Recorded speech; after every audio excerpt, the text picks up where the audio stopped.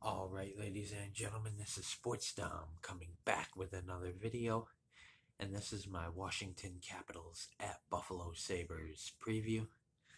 So the Washington Capitals come in at 29, 26, and 6. Uh, the Buffalo Sabres go into this game at 30, 23, and 4.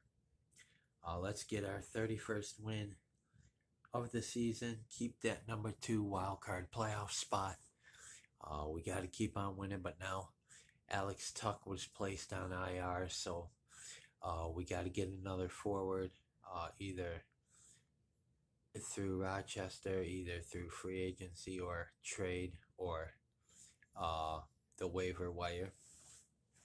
But um, yeah, so we'll be without Alex Tuch, which means guys like Tage Thompson, Jeff Skinner, uh, Peyton Krebs, Dylan Cozens, Jack Quinn, you know, them guys have to step up. Zemgus Girgensons, you know, Casey Mittelstadt. Um, they need to step up uh, in Alex Tuch's place, and we're gonna need uh, we're gonna need to play a little bit of defense.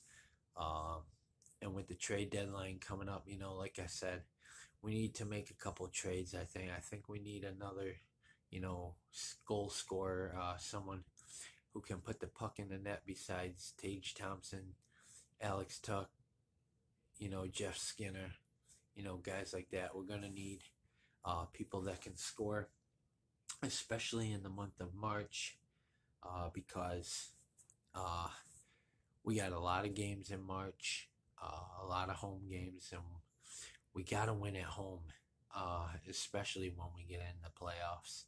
Um, if we're going to make any kind of a run, we got to win our home games. We can't just win on the road. Uh, we got to win our home games. Um, but like I said, now that uh, Tuch was placed on IR, hopefully uh, it's not long term. Uh, but it doesn't sound good. Uh, so it's going to be interesting to see who they put uh, in his place in the lineup. Uh, and Tuesday as well against the Columbus Blue Jackets. Um, and that's also in Buffalo. Uh, the Buffalo Sabres are coming off of two huge wins uh, in, in Florida. They beat Tampa Bay 6 5 in overtime, and then they beat Florida uh, 3 to 1 to uh, get possession of that second wild card playoff spot. I want to move out of that wild card playoff spot and up into the first wild card playoff spot, and then hopefully um, move up out of that and into that sixth. I want the five or six seed. Uh, I know it's a tall task, and I know it's going to be tough, but um, you know, I want I want that fifth or sixth seed.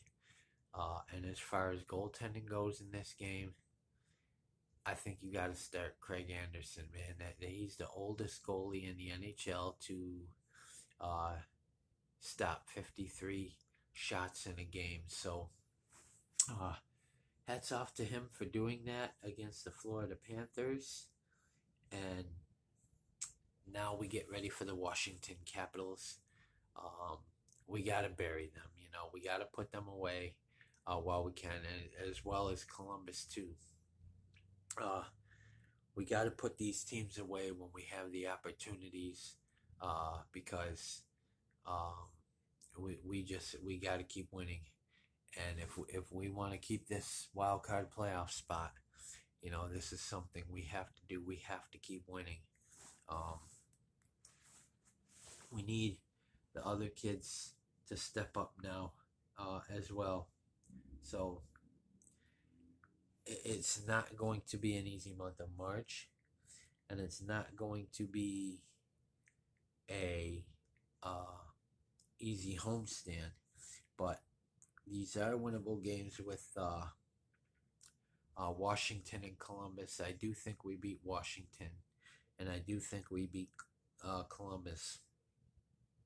So we're gonna need uh, Victor Olofsson. We're gonna need Casey Mittelstadt and of course Jack Quinn, Tage Thompson, you know Jeff Skinner, Peyton Krebs, um, You know, we're gonna need them guys.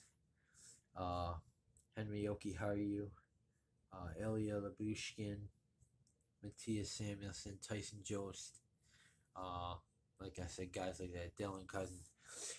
Um, I think they should put Rasmus Asplund uh, in the lineup uh, to replace Alex Tuch at least for the time being.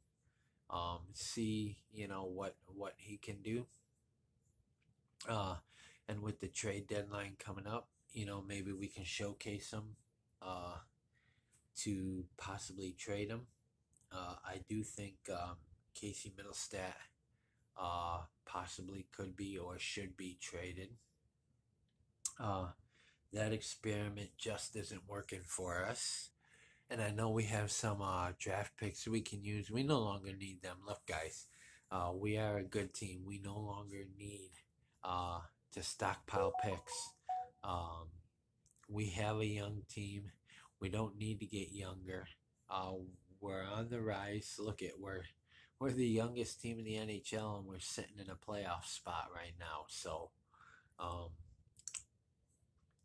I don't ever want to hear the words uh, tank and Sabres in the same sentence ever again, because this team is going to be good for a long, long time.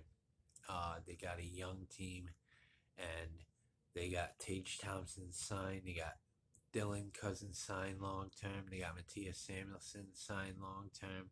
Jeff Skinner signed. You know, uh, they got Rasmus Dahlin uh, signed. So they got uh, a lot of their core signed. Uh, I'd like to see them re-sign JJ Peterka, uh, Peyton Krebs. You know, I want to see them. Uh, I don't think they re-signed Girgensons. Um, I just don't don't see it happening. You know, his production, you know, just in my opinion, just isn't there. Um, but uh, we ha- we have some kids in Rochester that are, I think, uh, are ready to come up. Lukas Rousek uh, is one of them, although he could possibly be a trade piece if if necessary uh, with the deadline coming up. All right, so the NHL trade deadline is March 3rd at 3 p.m. Eastern. Um, so it, it's going to be interesting. They they had some uh, uh, big trades already. Um, so, uh, like I said, I think we need a goal scorer, another goal scorer, a physical uh, goal scorer, and a big physical defenseman. Um, so, hopefully, Kevyn Adams doesn't stand pat. Uh, hopefully, they get uh, they get something at the deadline. I think we should be buyers. Um, we need we need uh, people that'll stick up for these kids, you know, and and uh, get in a fight or two uh, to defend these kids and, and show teams that uh, they're not going to push us around uh, because we're not going to be that kind of team anymore. So, um, we need we need a physical forward as well, um, and someone that can help out Jeff Skinner. You know, like I said, Tage Thompson, Alex Tuch in the scoring department.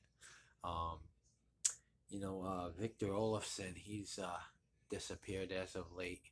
Maybe they put uh, him on the ice more uh, in Tuch's spot. Uh, maybe, maybe he's a trade piece. I, I don't know, but uh, we we need to do something at the deadline. Uh, I don't know, maybe possibly get a goalie. Uh, I wouldn't mind trading Eric Comrie, you know. Uh, but like I said, we need to do something at the deadline. So, guys, comment in the comment section below on what you think. And as always, if you like my videos, like, subscribe, and hit that bell notification so you don't miss a video. And